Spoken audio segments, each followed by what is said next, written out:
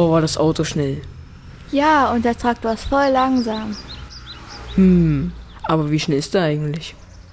Der Traktor legt in gleichen Zeiten gleiche Wege zurück. Dann kann man die Geschwindigkeit berechnen.